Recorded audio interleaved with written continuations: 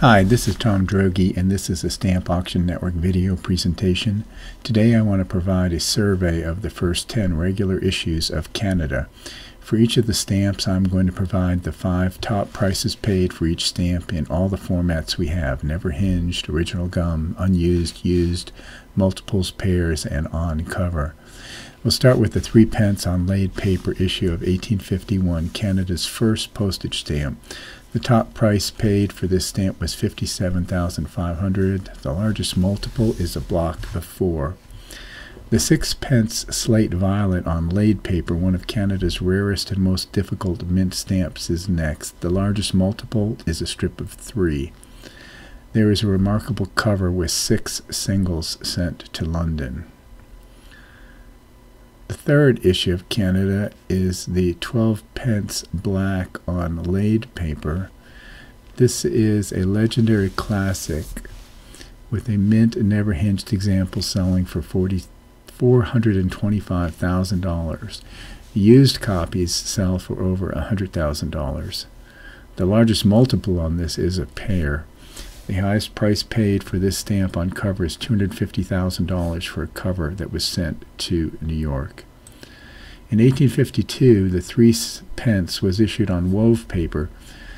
There is a vertical strip here shown. It's a strip of 10, the largest, which is the largest multiple, while there is also a nice block of 9.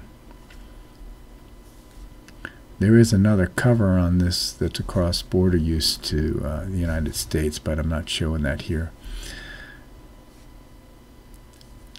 The next stamp up, after we look at the covers here, is the sixpence slate gray on wove paper. It features Prince Albert. And here we've got the mint, the unused, the used copies,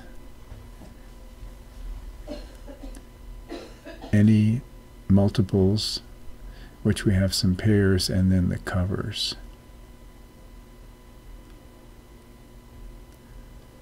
The 10 pence blue was issued in 1855. It features the image of Jacques Cartier. It's a beautiful blue color. Here we've got the used, interesting uh, multiple of three on a piece, and five examples on cover.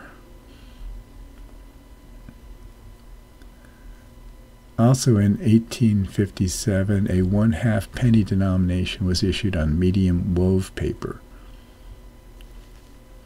Here we've got some nice mint singles and used copies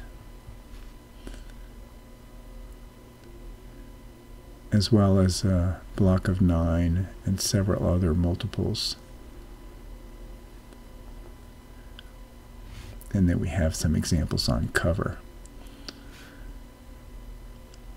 Also in 1857, a seven and one half pence green was issued with the Chalon portrait of Queen Victoria. This is a beautiful green shade. And we also have pairs and examples on cover.